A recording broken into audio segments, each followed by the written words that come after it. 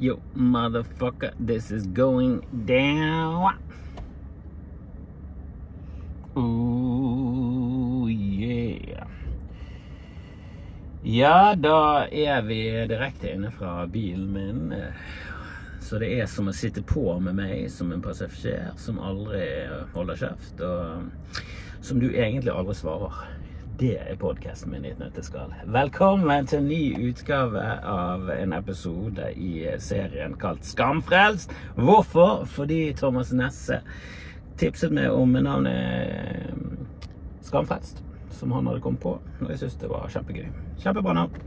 Begynte jo egentlig som en podkast der jeg intervjuet headlinere for det meste som var på besøk i Bergen. På den tiden jobbet Stian Blipp i P5, en radiokanal som var i Bergen. Og vi brukte studio, og han fikset en MP3-fil. Jeg fikk manageren min til å legge den ut. Sånn startet dette eventyret, som hvis det hadde vært i bokform, hadde vært langt ifra en bestselger. Det hadde vært det hadde vært en obskur bok som kom ut for 14 år siden, som, som veldig få leste. Skuffende nok. Men sånn er livet. Sånn er livet. Jeg syns det er artig uansett, og jeg setter pris på alle som hører mitt fjas og mine tanker om dette livet jeg lever. Det var ikke meningen å være downer sist. Jeg tenkte jo bare Jeg må jo dele fra livet mitt. Og hunden vår er fortsatt i, i live. Han er happy. og ja, la, la meg holde trynet så han er fortsatt uh, Sly Stallone, men uh, herregud, for en, uh, for en skjønn bikkje. Et ord jeg, absolutt ikke liker å ta i min munn. Du vet, Det er noen ord som egentlig bare De er egentlig nøytrale. Så det er mange ord som har blitt ødelagt. Eh, N-ordet ja, N-ordet for meg er ødelagt. Det er jo det. Det var jo et nøytralt ord som, som, som, de fleste i Norge brukte på en, på en Jeg vil si en ganske høflig og respektfull måte. Og så sluttet de fleste som brukte det på den måten, å si det når, det når det viste seg at folk ikke syntes det var kult i det hele tatt. Men, men, vi mistet jo et ord der som vi var veldig glad i. Litt som Litt i samme gate som vi mistet gay som en Som et nedsettende ord om ting som var teit. Som, som irriterer meg litt at det er gått vekk, liksom. For det det var et veldig gøy ord. Det, det begynte egentlig som et ord som betydde festlig og gøyal. Eh, som er et, et, et positiv stereotype av homofile menn. At de er, at de er festlige og, og gøyale. Og jeg må jo si mange av de Ok, greit nok. De, mange av de homofile mennene jeg kjenner, er jo innen eh, humorbransjen. Så at de er festlige og gøy, er liksom Ja, det er jo de fleste. Ser du bort ifra Dag Sørås og to til, så er de fleste veldig festlige. Og Dag Sørås er jo kjempegøy. Festlig? Ja, jo, han, han, kan, han kan betegnes som festlig og i, i visse stemninger. Men men, men det er ikke det ordet jeg ville slengt på han med en gang. Men absolutt gøy, interessant, kjempefin fyr. Men de homofile vennene mine fra showbiz er jo Jan Rune Holdhus og Jim Swan og Jeg kjenner jo ikke Adam Sjølberg, men jeg, kjenner jo til han. Han er jo bekjent, og han er jo en herlig fyr. Alle de er jo veldig gay. I hvert fall Jan Rune og Adam Sjølberg er definitivt gay. Og så ble det ordet bare frarøvet oss. Og ja, det er masse ord der ute, men det er noen som bare treffer. Jeg mener, det er litt sånn som South Park, med at, at faggot bare går vekk fra å bety noe nedsettende om homofile, og går over til å bare bety eh, irriterende, bråkete mannfolk på motorsykler. Jeg synes det er, det er sånn nat språket naturlig utvikler seg. Og jeg synes det blir feil å sette fot ned og si det ordet er forbudt. Det er sånn, ja, det er helt greit at det er forbudt på Dagsrevyen og på, i sitcoms og alt det der greiene, men, men, vi kunne jo bare tatt det til oss. Altså sånn som retard. Altså, i, i Frankrike så betyr jo retardé, det betyr jo bare at du er sen. Bussen er retarded, sier de. Og det vet ikke om helt greit lenger. men de gjør det. De sier også at bussen er terminert, som også er sånn uh, Er han drept? Har det noen som har drept bussen? Nei, han er terminert. Han har kommet til endestoppet. Som er det, som er det opprinnelige ordet eh, der 'terminé' kommer fra. sant? Språket, folkens, det er, det er gøyalt, og det er forfriskende. Mm. Nå, nå, husker jeg ikke hvordan jeg kom inn på denne digresjonen her, men det var jo noe med ord å gjøre. Men det var ett ord jeg spesielt tenkte på som jeg egentlig skulle, mm, skulle snakke om. Men eh, ja Kanskje det dukker opp i løpet av episoden. Sånn er, mm, sånn er min hjerne. Han er ikke bra, altså. jeg skulle jo eh, Jeg skulle jo egentlig snakke om at jeg, mm, jeg traff på en Eller ikke traff på, men jeg satt eh, på bystasjonen et ja, det er på en måte Bergen sitt uh, Oslo City. Eller på egentlig på alle måter Bergen sitt Oslo City. Et ganske stinky kjøpesenter som er ikke i nærheten av Oslo City. Mye mindre. Uh, det går an å parkere der, og det ligger i nærheten av jernbanestasjonen. Men det er liksom Det er sånn Bergen er. Det er sånn vi ruller. Vi er litt mindre. Så satt jeg der, drakk med en Espresso House caffè latte som forresten var helt middels. Eh. Og så eh, hørte jeg noen som tullet, eh, og drev med litt sånn uglelyder. Og til min store overraskelse var det tre fjortisjenter. Altså i alderen Ja, jeg vet da faen. Jeg, jeg tipper 16-17, men det vet ikke. Så 16, 17, 18, 19, 12. Jeg vet ikke. Vanskelig å, vanskelig å holde styr. Um, men jeg ble så glad inni meg når jeg så uh, jenter i en alder jeg forbinder med sånn mutthet. Og eh, livredd for å skille seg ut. Og alle, veldig mange av de går likt kledde. Ofte sett jentegjenger på to til fire, fem. Og så går, den, går alle likt. Kanskje ikke dønn like bukser, dønn, men det er liksom lys dongeri. Alle går ikke med Levis 501, men, men det er liksom eh, det er 501 til 503, da. Og, og eh, samme lyse tonen, og så er det lyse gensere. Kanskje ikke samme merke, men det er liksom den samme stil. Det er det som er inn nå.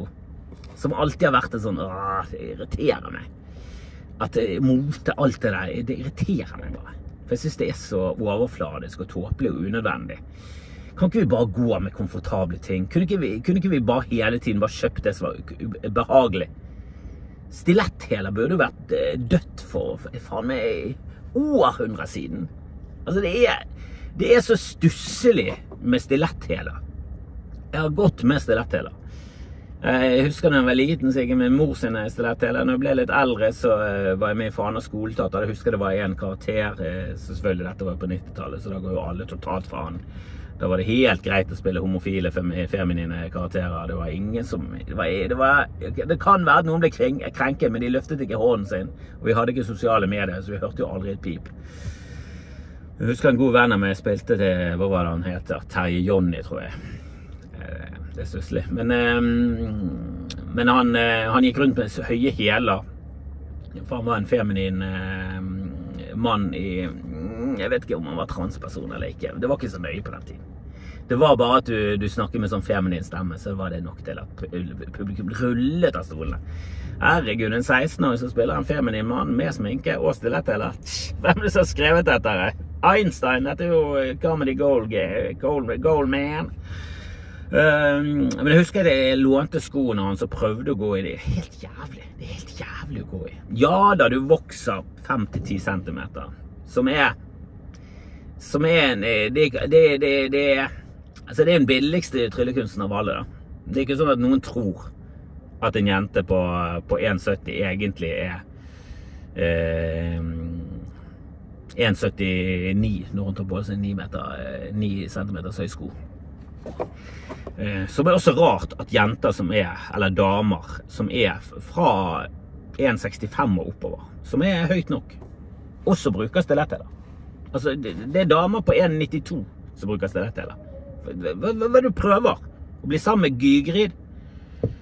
Fra Harry Potter? Hva er det som skjer her egentlig? Du, er du forelsket i sjiraffer? Hvorfor skal du bli høyere? Greit nok, de fleste av de bruker jo litt lave sko, men modeller er jo ofte skamhøye. Tasser rundt på, på, på scenen med gigantiske hæler. Det er jo et horribelt skotøy. Har du prøvd å gå i Hoka eller noen sånn løpesko? Det er som å gå på en sky, og så velger du å gå på en jævla spikermatte på hælen din. Det er jo, altså, Jeg skjønner det ikke. Jeg skjønner ikke hva, jeg, jeg mener parkdress for voksne må bli vintermoten. En eller annen gang må det bli det.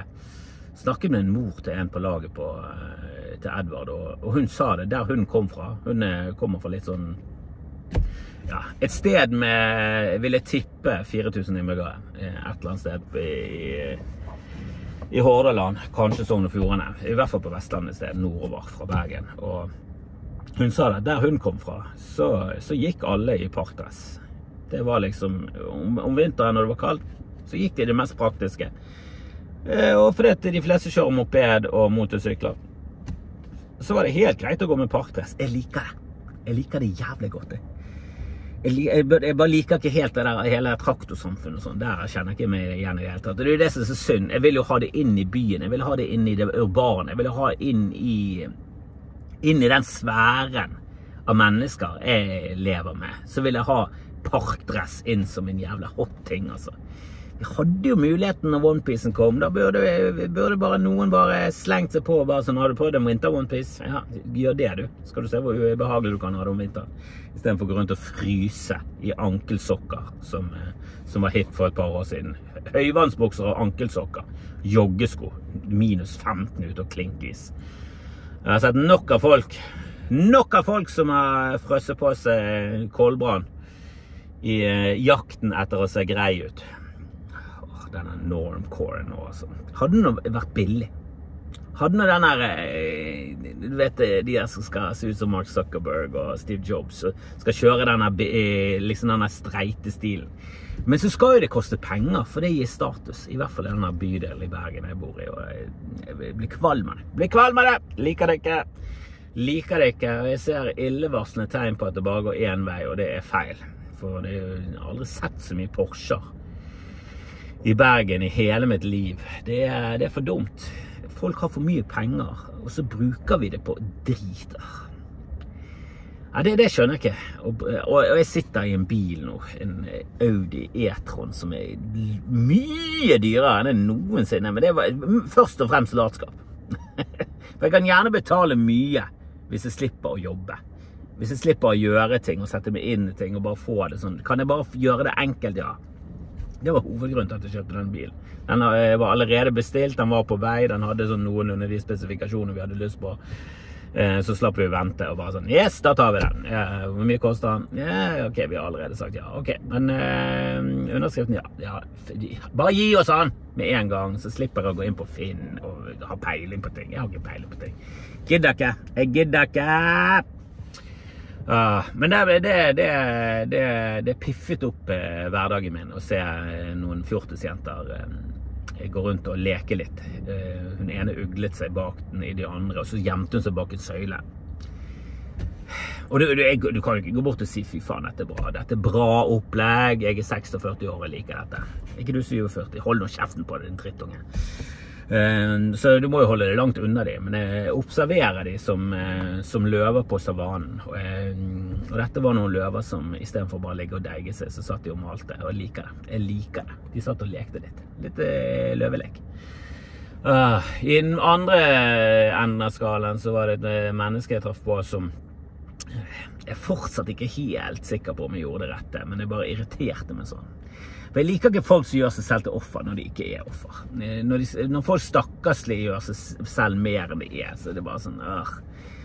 Og jeg er en som slipper forbi folk i butikken. Hvis jeg kommer med ganske mye varer, og jeg ser en komme med lite varer, så Jeg vil si ti av ti eh, ganger så sier jeg du kan gå foran meg. Hvis ikke de eh, maser på meg, som også ender med at de får gå foran meg. Hvis det er kassesystem, og ikke selvhjelpskasser, så er det bare du går foran meg. Selvfølgelig skal du gå foran meg. Det, du skal ikke stå og vente på at jeg skal bipe inn 43 varer og svare på pose. Du, du skal kjøpe en, en, sjokolade og en iskaffe. Det går helt fint. Gå foran meg. Um, men her var jeg i butikken. Jeg var på Meny på Lagunen. De har eh, masse selvhjelpskasser.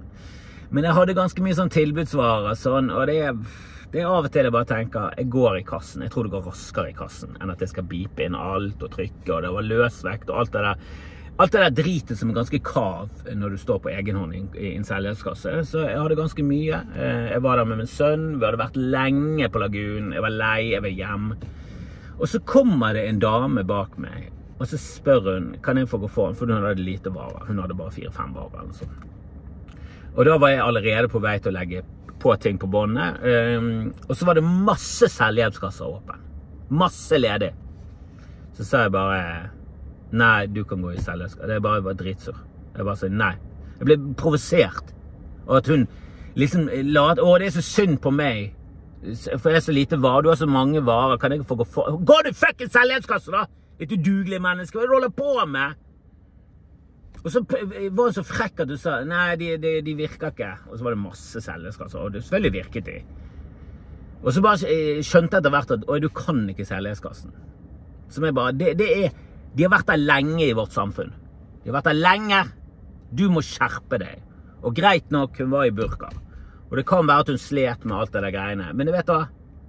Helvete heller. Ta, faen meg. Ta nå det litt på din kappe. Ta det litt på burkaen din. At du etter fire år med selvhjelpskasser fortsatt ikke har eh, gitt et forsøk. Du har heller bare smuttet forbi folk i køen med lite varer. Det, det er ikke mitt problem, altså. At du aldri gidder å sette det inn i selvhjelpskassesystemet. Det, det gjør livet ditt mye. Hadde jeg kommet med fire tyggispakker, så hadde jeg jo gått i en selvhjelpskasse før du kunne sagt selv.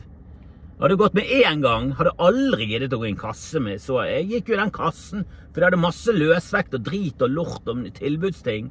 Jeg går der for, for å unngå masse komplikasjoner og må til, tilkalle hjelp i den kassen. Du med fire-fem varer, du skal jo selvfølgelig i selgerskassen. Og ja, ja, jeg kan, jeg kan skjønne at det er problematisk å være for et annet land og ikke kunne språket og være i den kassen. Men helvete, det, det, må, det, må, det må du lære deg. Og jeg har fortsatt dårlig samvittighet for at jeg ikke slapp forbi, men, eh, men det, jeg ble litt provosert. Hun- For hun var så, var, hun spurte meg to ganger òg. Jeg bare nei.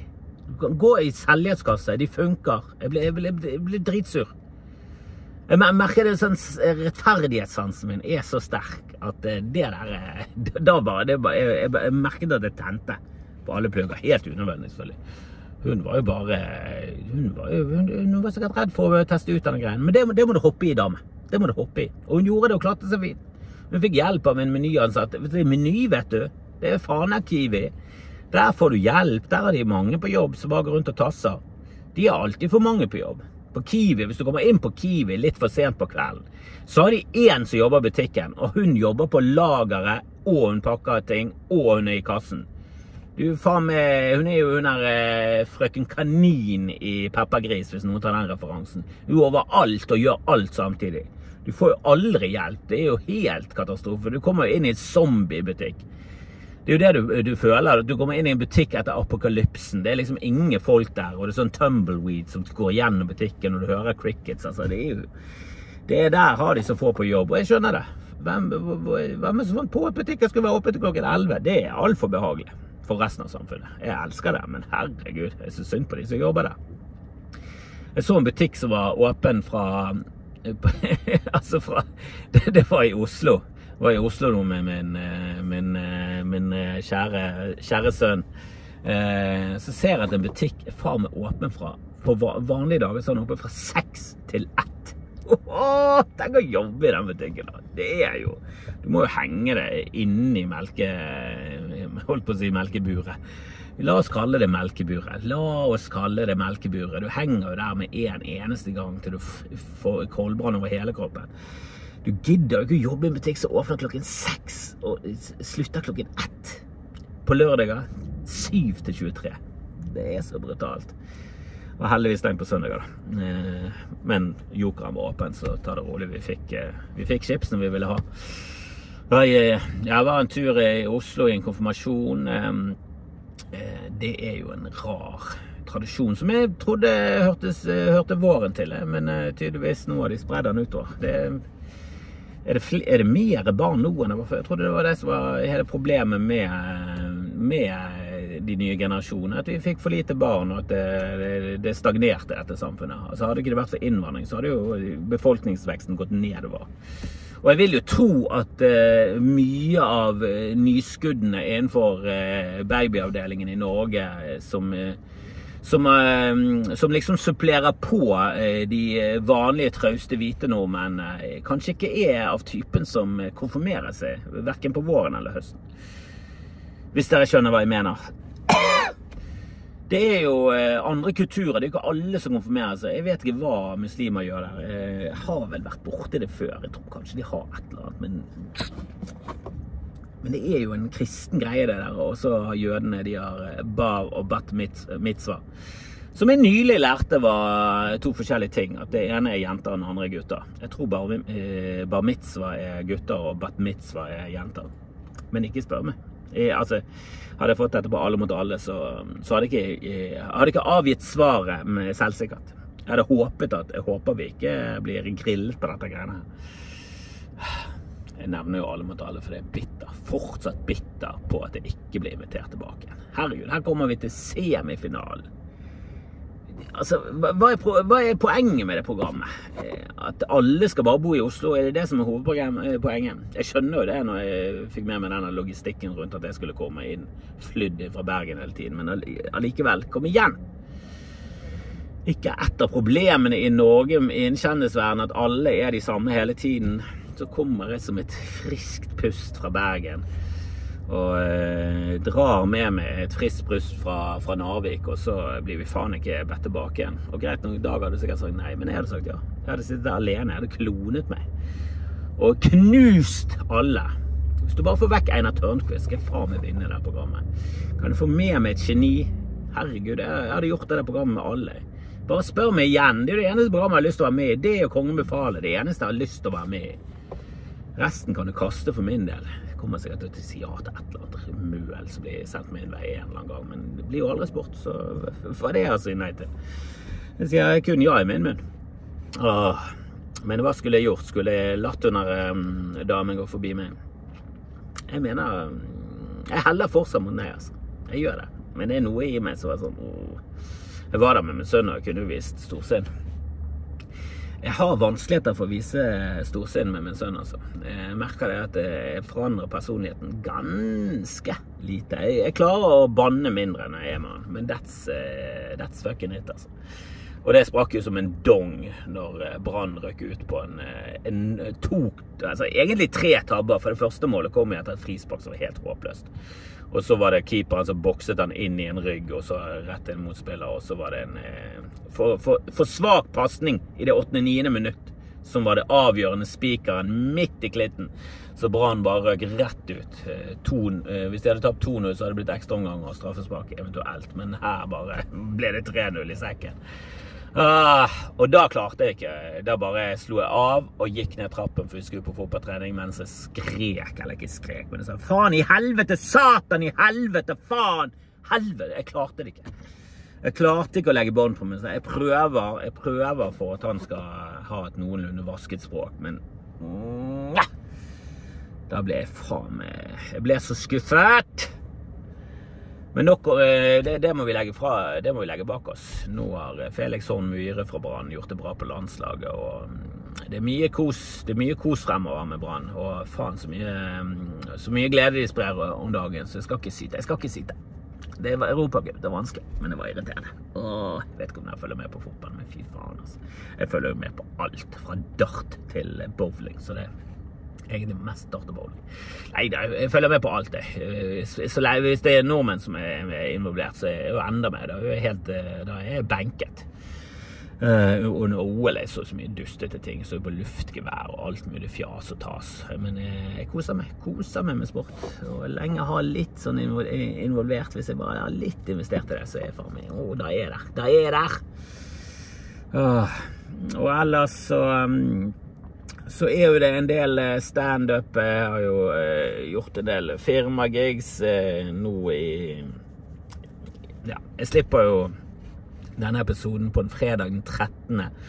og i dag så skal vi ut i Bekkjarvik. Eller er det Bekkjarvik? Når du sier Bekkjarvik, så høres det veldig avføring ut, men det er vel Bekkjarvik eller Bekkjarvik? Jeg vet ikke, jeg har aldri helt skjønt Austevoll-dialekten. Men vi skal ut der. Det er jo en nydelig øy, og det er ganske enkelt å komme seg dit. Det er ut i mine gamle trakter i Fana, og så utover mot eh, Krokeide, og så tar du en ferge. Det tar ikke så lang tid heller, så er du ute i et øyparadis der eh, fiskere og hyttefolk regjerer, og eh, der er jo Porsche-tettheten faen meg verre enn i Eller be- bedre, det spør alt ettersom eh, hvor du legger listen, eh, eller hva du syns om Porscher, men der er jo det Ferrarier og Teslaer og Porscher og BMW-er og Mercer og De har jo så mye penger at eh, de vasser jo i det. og jeg har mine mistanker om at det er liksom begrensede fartskontroller på den øyen, altså. Jeg har, jeg, har, jeg har en li- liten følelse av at øysamfunn er det litt mer rånere som kan ralle rundt i fine biler og kose seg på ganske fine veier. Det er en rik, rik kommune. Eh, og jeg håper jo at mange av de eh, kan bruke litt av pengene de har fisket opp fra havet til å komme på eh, Bekkjarvik gjestgiveri og, mm, og se på meg og Jonny Bayer og Pål Rønnelv og Rune Lote og Joakim Olsen. Det er jo en jækla bra lineup. Det er mye bra Det er mye bra fjes på, eh, på plakaten. Jeg vil si at det er ganske toppet, altså. Og, mm, det, det, kommer til å bli et jævla bra show, rett og slett.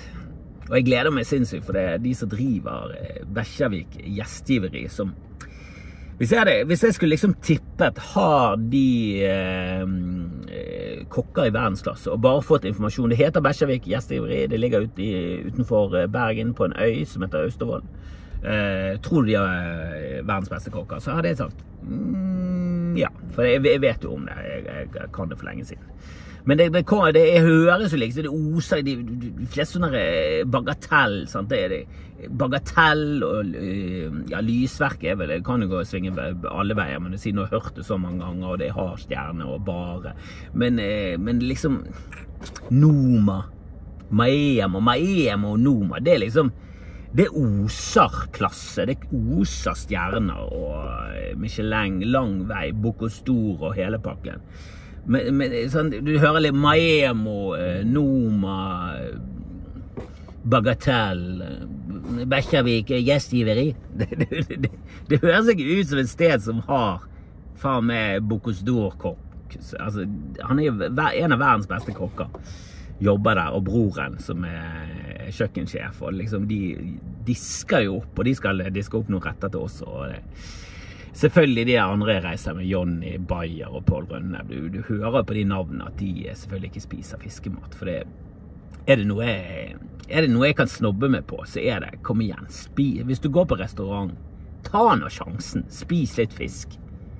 Altså, Du vet jo at i Trump-universet, de som heier på Trump, der er det minimalt med fiskefolk. Du vet jo det, du, du, du, bare, du bare aner det utover demografien. At det her er det den, den gjengse Trump-velger som går rundt med magerhatt, har aldri hatt en fisk i munnen. Det er det er, og de, de spiser lite grønnsaker, og det er kjøtt, kjøtt, kjøtt, kjøtt, kjøtt, kjøtt. Og nå spiser de liksom på, på, på trass.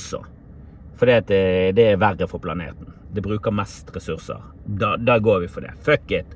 Woke ut. Alt som er PK, er, er homo. Det er gay. Og det er bare faggots. Og så er det de som egentlig burde bli kalt faggots. Sant? Hvis du hadde bare slengt det uttrykket, hvis du hadde bare videreutviklet det uttrykket til de Herregud, så gøy det hadde vært. Og så hadde de fortsatt hengt igjen, for de får jo aldri noe med seg. Så de hadde hengt igjen i sitt ekkokammer og slengt faggot overalt. Det hadde vært kjempegøy! Å, vi kunne gjort narr av de i årevis. Um, men jeg får litt den feelingen når du ikke tar sjansen på en fisk når du spiser hos verdens beste kokk. Da lever du ikke livet, mann. Skal du ha en entrecôte, skal du ha en biff Er du klar over så mye enklere det er å lage god biff? Det kan alle klare! Det er bare å ta masse smør i en panne og masse hvitløk, og bare la det steke litt, og så hiver du det smøret over, og så tar du på noe urter. Du trenger ikke å gjøre det så avansert engang. Alle klarer en fuckings biff. Det klarer du på et par forsøk. Men fiskemat og sånn, det er jo sjelden. Da må du liksom ha ferske råvarer. Det koster jækla mye. Det er jo vanskelig å få tak i. Kom igjen, det er jo så mye bedre! Jeg har aldri vært skuffet over en fiskerett på restaurant. Flere ganger vært skuffet og lasagne. Har skuffet meg så å si alle gangene. Det, det er vel kun på den der eh, ja, Vi spiste på en restaurant i, i, i Oslo en gang som eh, riktignok ikke har eh, stjerne, men den har blitt nevnt i guiden. Og, og jeg husker ikke hva han heter nå, men jeg liker han.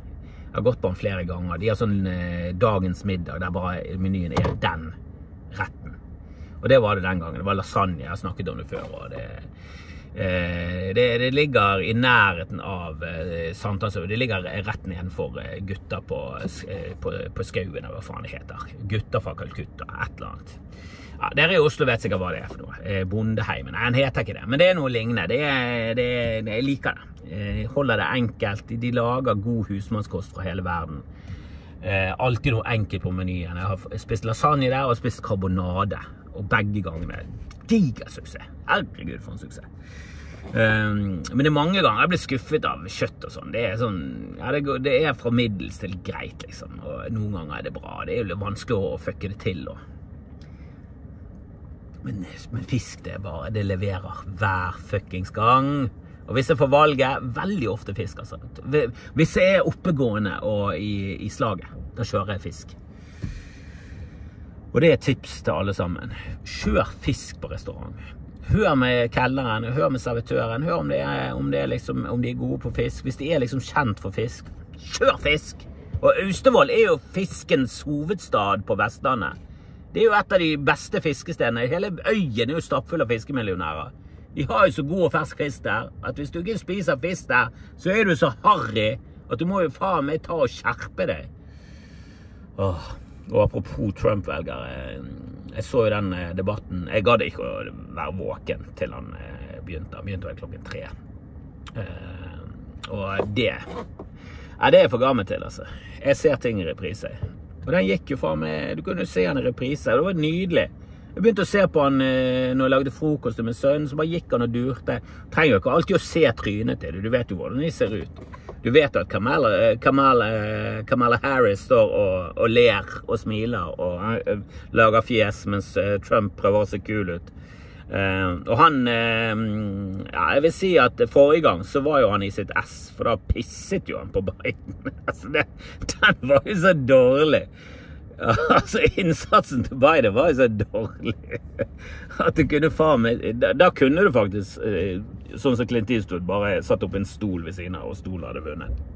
Husker den? Clint Eastwood debatterte en stol en gang. Det var, det var rart, og det var lenge siden. Det, altså, Mannen er mye mer dement nå, og han lager fortsatt filmer. Jeg vet ikke hvordan det går med Clinton.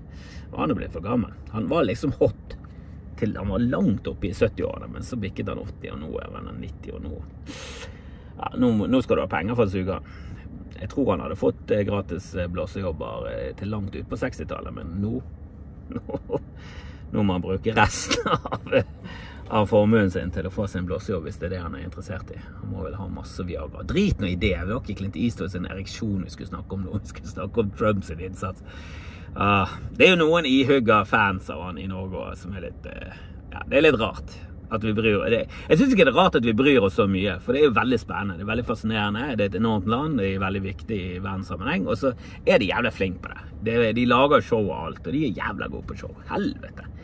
Jeg så denne eh, Drive to Survive-greia med Formel 1, og, og de har liksom de, de, Det var første gang de kjørte et løp i Las Vegas. Og bare måten de presenterte på folk på, så var det bare Jeez, det er så god med Det er så god pakke inn ting.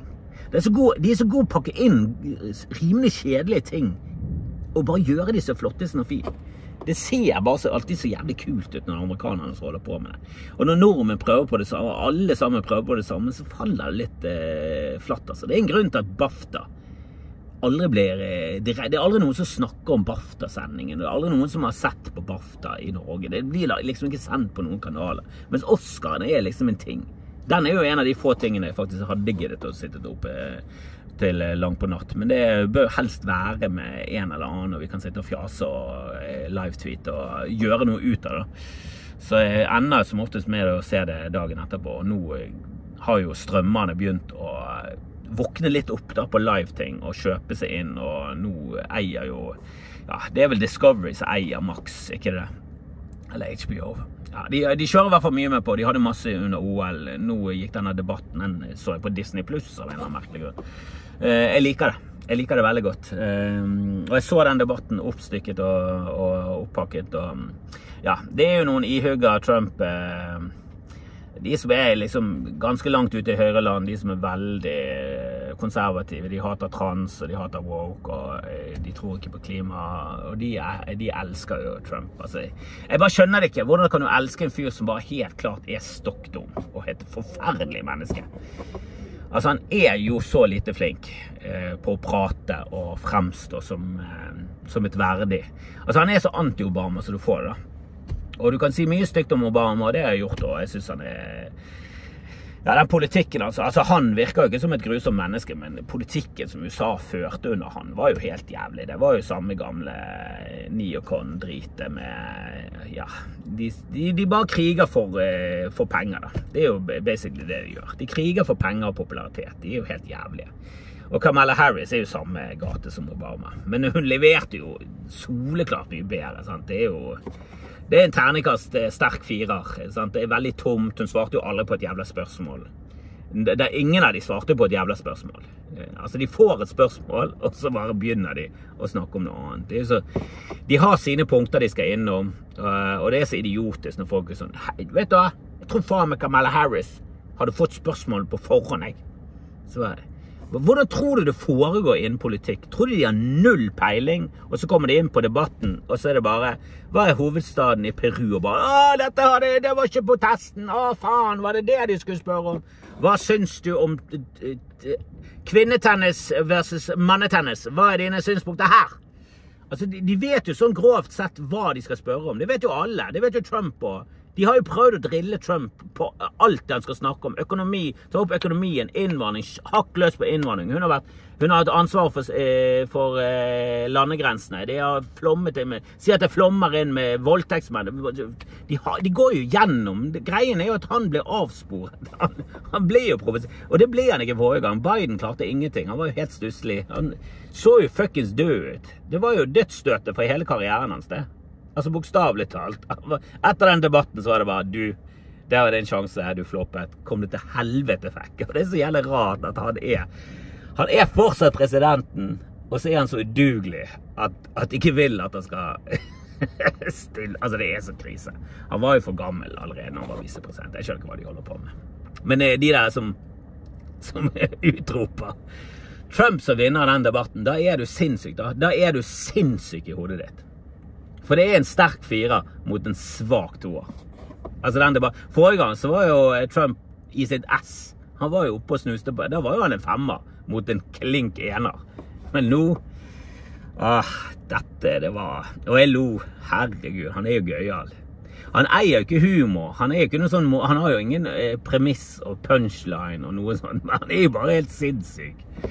Og han ble mer og mer frustrert og, og provosert eh, av hun Kamala Harris, som, som, klarte seg veldig fint. og bare, ja, Det var jo så mye gjentagelser. Det irriterer meg når de gjentar. Du bare merker at å, du skal, du skal få inn dette her. Du. Turn the page. Turn the page.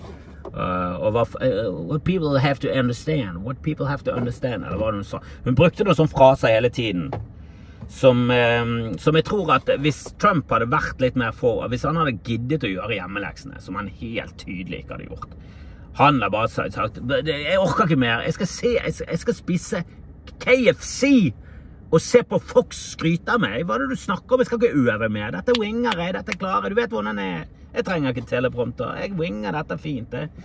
Så sa han at uh, folk gikk fra rallyen hans før, uh, før de var slutt. Og han bare det, det, det, gjør du ikke! Og ingen kommer på rallyene hennes! Jeg er mest populær! Hvis, du bare, hvis, du bare, toucher han i egoet hans, så, så, eksploderer han. Ikke, det er jo kjempepinlig. Så dro han frem Viktor Orban. Er du klar over hvem som er vennene mine? Viktor Orban fra Ungarn. Å ja, han psykopaten som liker nazisme? Er det han? Diktatoren i Ungarn? Herregud, er det han du trekker frem som venn? Det er liksom han, Kim Jong-un, Putin Det er jo Og det verste av alt, folk er sånn Ja, men det er jo sterke menn, da. Ja, er det bra med sterke Hvem er det som har startet alle kriger gjennom alle tider? Det er jo de folkene der. Pluss Obama og alle de her jævlige folkene der òg. Så det er jo Altså, det er ikke bare sterke menn, men det er jo et av hovedproblemene i verden er jo disse diktatorpsykoene. Det er jo de absolutt verste folkene i verden. Det er jo det som er så morsomt når folk er sånn Å, når jeg var, jeg var kongen i Frankrike. Jeg var, jeg var, en av lederne. Jeg var en konge i, når det var føydalsamfunn. Så, jeg, ja, så det har vært kakerlakk siden du ble gjenfødt. Er det det du prøver å si? Åh, du må jo være i tidligere liv sånn som du jeg var en eh, revolusjonær som, eh, som eh, som ikke brukte vold. Jeg var en pasifist på 1700-tallet, og jeg fikk igjennom en landbruksreform. Det var mitt tidligere liv. Jeg var Gandhi. Jeg var en av hjelperne til Gandhi. Det er jo det du skal være. Sånn at den du er nå, har tydeligvis vært en belønning for hvor fantastisk du var i tidligere liv. Ikke at du var en farao som hadde slaver og drepte hundretusenvis. Durek, den jævla dust av en kondom. Herregud, for en flopp du er. Og Trumpen bare han er gøy, han. Jeg må jo si det. Han er veldig, veldig Han, han, jo, han har jo sjarm. Han har jo Han har en utstråling. Han har jo karisma. Det har jo han. Han har ikke noe humor, men han er jo jævlig morsom. Herregud. Han er jo morsom på en jævla smålig og uh, kjip måte. Han er jævlig god. Han er en utrolig god mobber. Det skinner jo så jævlig godt igjennom at Jesus Christ, du har vært en god mobber hele livet. Du har vært jævla god. Du er presis. Han faren din har fucket deg jævlig opp, altså. Han har tydeligvis eh, Han har tydeligvis kalt deg en liten eh, purke eller noe sånt da du var liten, og så har du bare klikket. Og der kommer vi tilbake til, eh, til starten av podkasten, eh, der jeg sporet av. Purke er også et sånt ord som egentlig er helt nøytralt, som er sånn mm, Det føles du, du, du, får en litt sånn her snerk. Du får en litt sånn eh, Du får en eh, psykologisk snerk, føler jeg, når du bruker de ordene. Bikkje, tispe. Bikkje er liksom Det er for nært knyttet til bitch, og bitch har vært brukt som skjellsord i så mange år nå, og du har hørt det i så mye rapp og amerikanske filmer og at du har, det, det har kommet et snerk på hele ordet. Og det er egentlig et helt normalt ord. Bikkje, det betyr bare hund. Eh, tispe betyr bare en eh, hund som er hund. Og allikevel Jeg føler det har kommet en snerk på ordet. Og med den, eh, med den ordsalaten så, så, gir jeg meg. Jeg syns det var veldig bra. Snerk, En psykologisk snerk på ordet. Aldri sagt før.